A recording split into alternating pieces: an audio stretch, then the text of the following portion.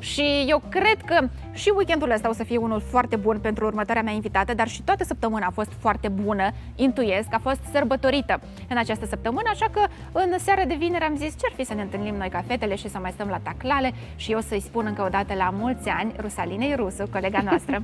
Bună, dragă Rusalina! mult, mulțumesc! La mulți ani să fii sănătoasă, să ai parte de tot ceea ce tu îți dorești și să fii împlinită și liniștită, sufletește. O, da și să fie pace deasupra capului și pace aici. Cred că asta e ceea ce îmi doresc cu adevărat. E, uite, să știi că noi ne-am gândit așa că, pentru că e o săptămână uh, plină pentru tine, ai și avut încă nu s-a finalizat, dacă pui că și mâine e zi de lucru oficial uh, și aici la televiziune va fi multă gălăgie. Da, mâine, mâine da. vom trăi intens ziua de sâmbătă. Exact, dar, dar stai așa, că totuși personajul principal ești vineri. tu. Da, și personajul principal ești tu și gândindu-ne că ai avut o săptămână interesantă, am zis să fii invitata noastră la rubrica uh, noastră șapte fotografii, nu, șapte zile, șapte fotografii sau șapte fotografii pentru șapte zile. Uh-huh. Tu, în general, obișnuiești să faci fotografii la tot pasul? Nu prea, nu sunt consecventă în a face poze. Uh, pot să fac două, trei zile fotografii, după care renunț și revin mai târziu. Uh, și de câte ori încerc să zic gata, săptămâna asta o să fiu activă pe Instagram, o să postez în fiecare zi și nu-mi iese. Oamenii de obicei postează atunci când au multă activitate, eu postez atunci când nu am activitate. Ia uite că avem deja prima fotografie. Asta e făcută sâmbătă. Exact. Sâmbătă trecută. Sâmbătă trecută. Da. Ce avem aici? Ați mers la film? Am mers la film cu Darius. E o tradiție în familia noastră să merg separat cu băieții pentru că au interese diferite, vârstă diferită. La mai mare cumva nu vrea povești și desene animate. Și atunci dăm cu Zaru și încerc să le acord atenție ambilor copii în egală măsură și să știi că mie mi-a plăcut mai mult motanul încălțat decât lui Darius. Ei, da.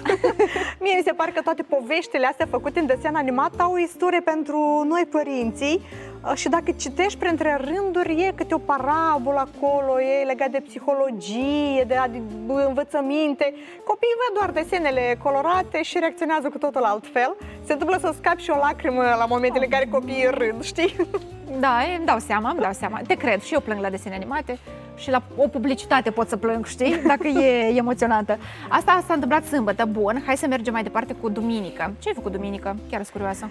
Mm, eu vreau să văd ce poză ați pus ca să vă zic ce am făcut. Imediat. Ce am făcut duminică.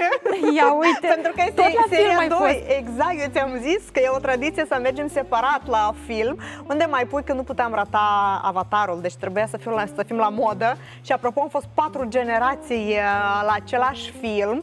Mm. Am ținut neapărat să o luăm și pe mama la film și a fost primul film pe care l-a văzut 3D, deci am luat și ochelari uh, și știind că acest film e mai mult bazat pe efecte, am zis hai să vezi tu ce înseamnă tehnologii și să știi că am fost perceput filmul diferit de fiecare dintre noi, deci e mama, e sora mea, noi suntem la o diferență destul de uh, vizibilă de vârstă și e băiatul meu cel mai mare. Uh, mama... Bogdan, care, este, care a crescut, eu nu l-am recunoscut pe Bogdan. Zic, cine? Bogdan este atât de, a crescut da, foarte vezi mare. că Bogdan e cel mai înalt uh, da. din uh, da, poza deci... asta.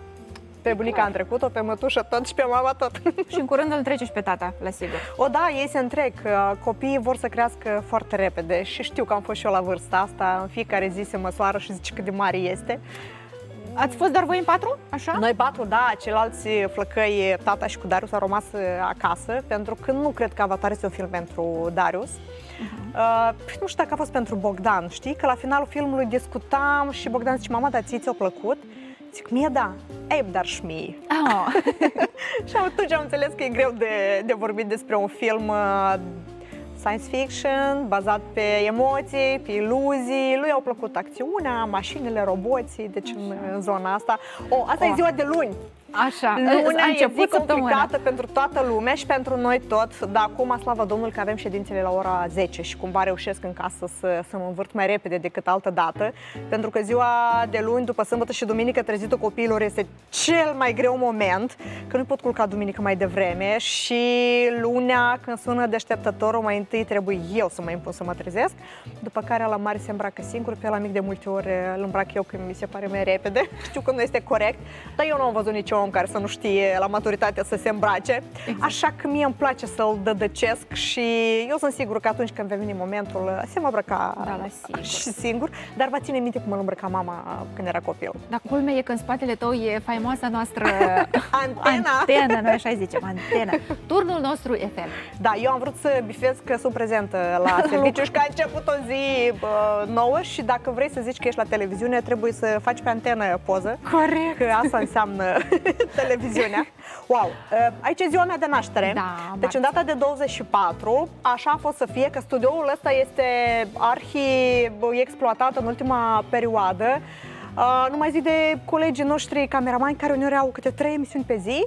Bună dimineața și live studio în direct și la amiază mai venim și noi cu niște imprimări. Uh, și uite, asta a fost de ziua mea imprimarea și n-am vrut să le spun invitaților, dar Mariana Mihail a intrat în studio și a început a cânta Mulți ani trăiască. Oh. Când o să vedem emisiunea? Sâmbătă Mâine, asta? Mâine. Mâine la 18 și 30, dacă îmi dai voie să fac doar puțină publicitate. Sigur. E vorba de o familie cu 5 copii, 5 copii mari. Uh, Alexa este studentă, Bianca și Veronica sunt la școală, Alex este și el elev și mai e și Gabi. Deci este o familie bună, Um, în care investește în copii și am vrut să demonstrez că avea mulți copii nu înseamnă să fii sărac și la limita existenței, nu înseamnă um, să ai copii defavorizați, care nu învață sau care au o singură pereche de papuci pentru toți. Deci e o familie frumoasă, o familie cu fete care au centură neagră la karate, um, cea mai mare fică învață la drept, uh, băieții merg la IT, și a venit și bunicii și mi-a plăcut tare mult uh, o vorbă de-a bunicului, zic că dumneavoastră ați dădăcit și de câte ori mergeați cu căruțul pe aleile bă, din sectorul Buiucan pentru că acolo locuiesc, ce vă spunea lumea? Ei, de fiecare dată îmi zice, mai aveți? și eu ziceam, da, ce vă interesați? Voi creșteți? Da. Și uite, voi creșteți, au ajuns mari. Și a fost o emisiune foarte caldă pentru mine și eu zic, eu de fiecare dată simt că trăiesc aici doar atunci când am invitați buni și de calitate pe care pot să-i scot uh, la ecran. Oh, și cred că și tu ești da. la fel. Atunci când îți da. reușești da. un interviu sau atunci când reușești să descoperi o personalitate și să o aduci cumva la, uh, la public, ai așa o satisfacție, un zen. Uite, nu se compară 101 trandafiri, cred că ar fi pălit uh, dacă puneam pe cântar cu familie pe care am avut-o invitată. Doamne, ce frumos, uite, de ziua ta să, să muncești, pentru că se, uh, asta este munca ta, da. cum ar veni, dar nu e muncă, eu știu, e pasiune și e dragoste. Și uite ce cadou frumos uh, Ți-ai făcut practic tu singurică de ziua ta prin, prin muncă. Munca slăvește omul. Uite că mi-a făcut cadou și a doua zi. Ah, a, altă, altă, altă înregistrare, altă, altă um, imprimare, uh, filmare. Adică. Deci, dacă e să luăm în comparație, această familie are șase copii.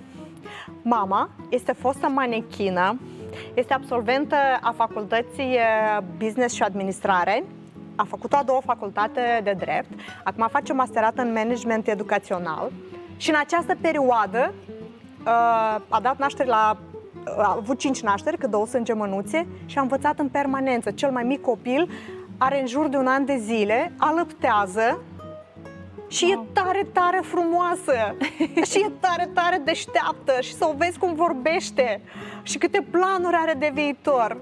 What? De ce care are un copil acasă și nu reușesc?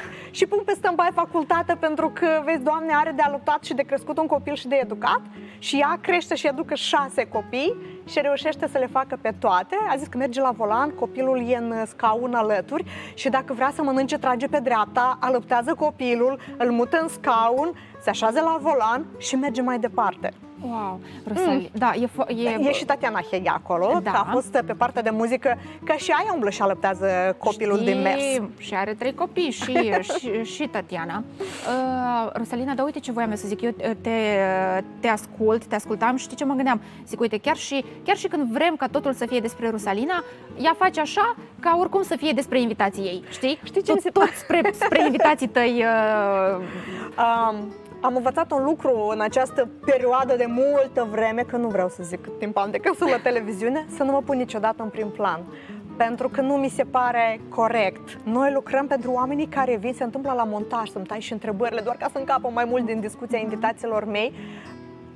Pentru că eu pot să-mi fac publicitate și în altă parte. Adevărata mea publicitate sunt oamenii de calitate pe care reușesc să-i aduc uh, la ecran. Aici ce se întâmplă? Păi aici am uh, montat emisiunea cu Antonina și Valentin Samoil, emisiunea de mâine seara da. și pauza de masă e cu, cu colegii. Fetele. Da, este colega ta și da. colega mea, Otilia Lozovanu. Alături este tot blondă, e Alina Tăbârță, regizoarea Alina Tăbârță, care realizează alături de Nătălița Moraru Premuzică în Europa, dar și alte spectacole de avergură. Uh, Tatiana Cojocaru de la Înalți Papuci și colega ei de montaj, uh, Maria Botnarenko. Ei, și aici cea care face selfie este colega mea de montaj, editoarea de montaj și sufletelul meu pereche, pot să zic, confidenta mea, pentru că la montaj atâtea lucruri se discută, știi, la frizerie o, da. uh, și nu e sala de montaj, este același lucru, Cristina Brașoveanu. Frumoase, fetelor! Frumos! Hai să mergem mai departe, că vreau să reușim cu, cu toate fotografiile. Uh, am, a, era, eram joi, nu, miercuri eram. Nu, era, joi, eram joi, joi a fost. Așa de, de astăzi. Băi, uh, um, eu cu mama de obicei ies o dată din casă dimineața pentru că o duc mașina până la serviciu și mă întorc înapoi și vin spre televiziune. Um, mi-e place culoarea roz, toată lumea știe, nu este un secret. Casa și mea este de culoare roz. roz, dacă vrei să o găsești la Eloveni, caut una roz în mahală, că e doar una, deci scurta roz, căciulă roz ei, și mai am și alte detalii. Uh, și azi dimineață zic, mama, eu știu de unde mi se trage, de la tine, de când mă ții minte, îmi cumpărai haine roz. Anul ăsta, apropo de ziua mea, mi-a luat un pulover roz. Și am zis, mama, nu erau alte culori? Și mama zice, erau toate culorile, dar eu știu că ție-ți place roz. și zic, mama, tu ai beretă roză. Hai să facem uh, un selfie, să știe lumea că de la tine mi se trage. Să știți că mama mea tot iubește culoarea roz și beretele roz în acțiune astăzi au început uh, o zi de vineri. Deci, fetele, fetele în roz. Așa, da, așa acesta da. este titlul acestei uh, fotografii. Rusalina, uh, spune-ne ce planuri ai pentru seara asta de vineri și ce faci în acest weekend? Măi, mâine e zi lucrătoare, oficial în Republica Moldova. Da. Cumva eu mâine sunt la montaj, deci mâine montez emisiunea cu cei șase copii pentru sâmbăta viitoare, dar să nu crezi că nu vin, uh, nu cobor aici la voi în studioul mare să văd și să ascult uh, pe viu uh, participanții de la uh, audiții, live. da? că nu putem da. să zicem încă etapa națională. Eu întotdeauna am fost fan Eurovision, mi-mi plac emoțiile astea care se întâmplă aici, jocurile astea de culise, discuțiile, uh, că îi merge microfonul, că nu îi merge microfonul, că a răcit, că vocea astăzi nu sună, dar ieri a sunat perfect. Ador asemenea discuții de culise. Te invităm mâine să fii aici și seara să, să, să povestim, da. să, să dezbatem subiectul. Uh, nu știu, eu cred că o să fie oameni mai competenți ca să vorbească uh, seara. Uh, dar mie îmi place cum cresc generația asta nouă de artiști. Bine, că avem și artiști consacrați, avem și artiști noi și îmi place atunci când îi descoperim, după care ținem legătura cu ei și îi aducem la tot felul de emisiuni care au curajul și puterea de a se menține pe linie de plutire rămân. Alții cad cumva din mers și atunci uh, Dumnezeu știe mai bine cine merită sau nu să fie artist, că a fi artist nu înseamnă doar a avea voce, a fi artist înseamnă a fi o personalitate, a-ți impune punctul de vedere, uh, punctul vestimentar, a ieși cumva cu eu tău în față și atunci notele false rămân pe planul 2 să tac, nu? deci mâine muncesc. da, Rosalina. Vrei să zic că nu a venit singur, a venit cu băiatul meu cel da, mic, care e pentru prima dată într-un studio de televiziune și am zis, liniște, este emisie în direct. A, Te foarte cu minte, Darius. Și uh, analizezi tot ce se întâmplă. A fost foarte cu minte. Eu cred că el s-a și plictisit. El abia așteaptă mama să-și termine interviul da, și să... să cumpărăm înghețată, că i-am promis. E frig, e iarnă, dar vrea înghețată și am zis să o luăm și o mâncăm acasă. Rusalina, eu doresc, îți spun încă o dată la mulți ani, să fii sănătoasă, să ai parte de cele mai uh, faine experiențe în anii ce, ce să urmeze și te mai așteptăm la noi aici. La live studio. Cu mare drag, da, să-mi zici cu două săptămâni înainte să merg să fac poze de alea de calitate, știi, care da, dau rating. Ne-am înțeles. Pozele mele zvii și cumva nu trag... Nu, no, nu, no, nu, no, sunt autentice și sunt, sunt naturale, asta este foarte important. Mersi tare mult, și tuturor.